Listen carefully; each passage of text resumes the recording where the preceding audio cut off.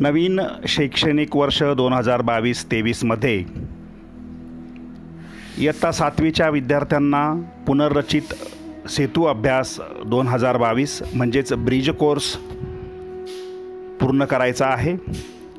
आजच्या या व्हिडिओमध्ये विद्यार्थी पालक व शिक्षकांचे सहर्ष स्वागत. आज आपण पुनर्रचित सेतू अभ्यासाच्या इयत्ता सातवीच्या मराठी म्हणजेच भाषा या विषयाची पूर्वचाचणी आणि तिचं सविस्तर मार्गदर्शन अभ्यासणार आहोत.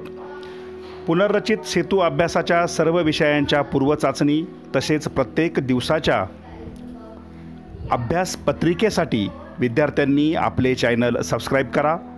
बेल आयकनवर क्लिक करायला विसरू नका.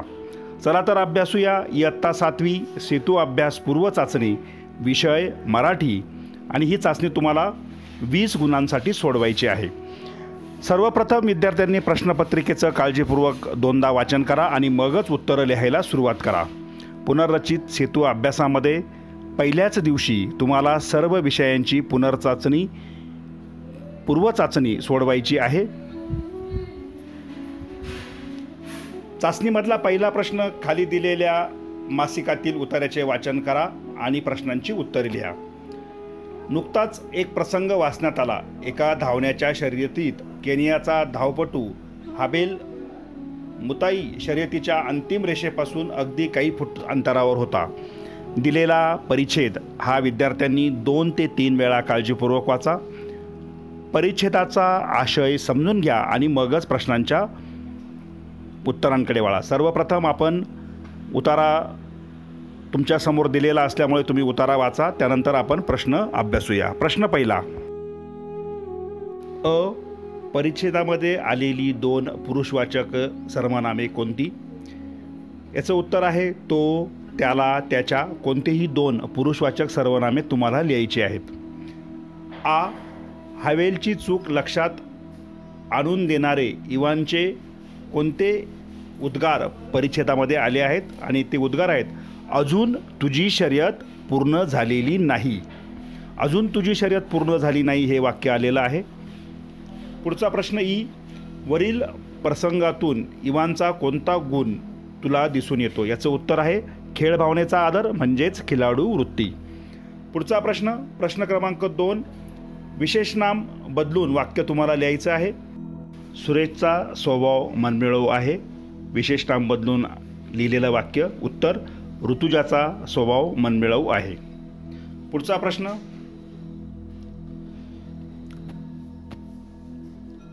धडा शिकणे या वाक्प्रचाराचा वाक्यात उपयोग करून तुम्हाला लिहायचा आहे.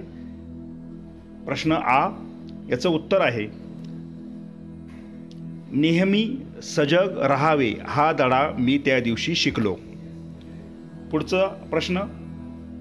दोन्ही बाजूंनी सारखीच अडचणीची स्थिती निर्माण होणे या अर्थाची मन इकडे आड तिकडे विहीर. उत्तर इकडे आड तिकडे विहीर.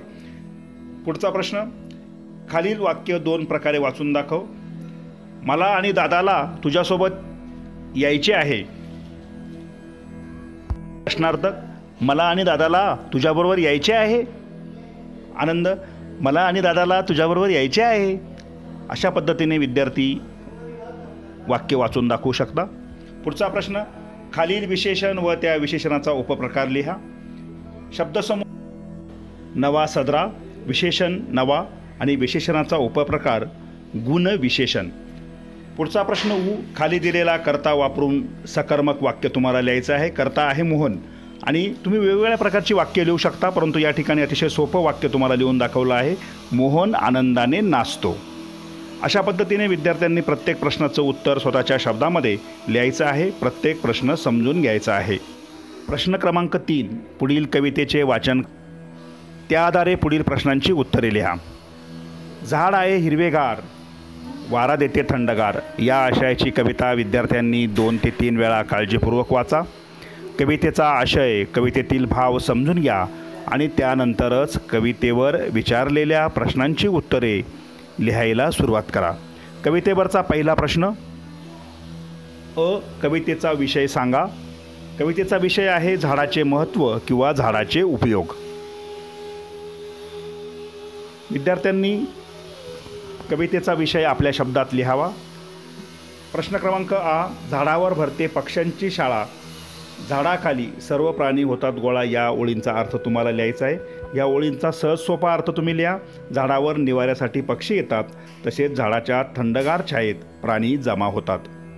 उत्तर काळजीपूर्वक व स्वतःच्या शब्दात वेगळं लिहिलं तरी चालेल. कवितेत यमक जुळणाऱ्या कोणत्याही दोन शब्दांच्या जोड्या तुम्हाला लिहायच्या आहेत. ई प्रश्नामध्ये त्यामध्ये बसते हसते माया छाया फुले मुले चित्रमित्र ह्या यमक जुळवणाऱ्या जोड्या तुम्हाला कवितेतनं शोधून लिहायच्या आहेत. पुढचा प्रश्न खाली दिलेल्या कोणत्याही एका विषयावर पाच ओळी माहिती लिहा. पहिला विषय आवडते पुस्तक. आवडते पुस्तक. माझे आवडते पुस्तक साने गुरुजींचे श्यामची आई हे आहे. हे पुस्तक वाचताना बालपणातल्या विविध गमती जमती जणू काही माझ्या बाबतीत घडत आहेत असे वाटते. श्यामची आई पुस्तकातल्या सगळ्या गोष्टी खूपच वाचनीय आहेत. श्यामच्या आईने श्यामवर केलेले संस्कार सर्वश्रेष्ठ मानले जातात. मला श्यामची आई या पुस्तकातील सर्व गोष्टी खूप खूप आवडतात. दुसरा विषय विद्यार्थ्यांना फक्त अभ्यासासाठी दिलेला आहे. आवडता पदार्थ गुलाबजाम. गुलाबजाम हा माझा आवडता पदार्थ आहे. दुधाच्या खव्यापासून व साखरेच्या पाकापासून बनणारा हा पदार्थ मला खूप आवडतो. गुलाबजामनाने भरलेली वाटी दिसली की माझ्या तोंडाला पाणी येते.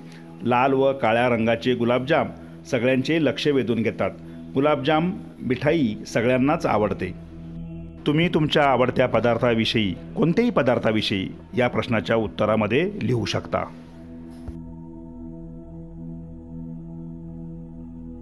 प्रश्न पाचव्यामध्ये शिक्षक तुम्हाला कोणतीही एक गोष्ट ऐकवतील किंवा सांगतील.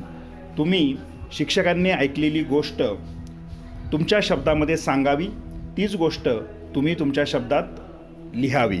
हा प्रश्न तुम्हाला प्रत्यक्ष वर्गामध्ये पूर्ण करायचा आहे. पुढचा प्रश्न खाली दिलेलं चित्र चित्राविषयी तुम्हाला कोणती माहिती आहे? ते दोन ओळीत लिहायचं आहे दिलेले चित्र हे परमवीर चक्राचे आहे. सोबत दिलेले चित्र हे परमवीर चक्र या शौर्य पदकाचे आहे.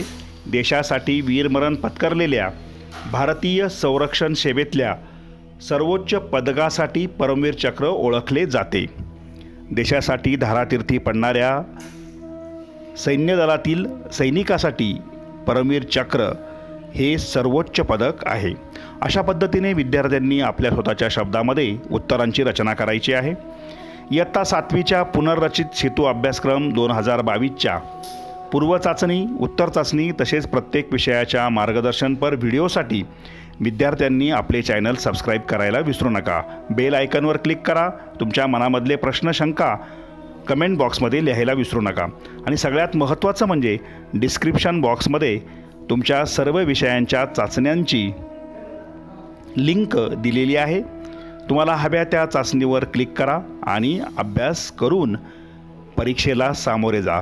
ब्रिज कोर्स आणि सेतू अभ्यासाच्या सर्व अभ्यासासाठी तुम्हाला खूप खूप शुभेच्छा. धन्यवाद.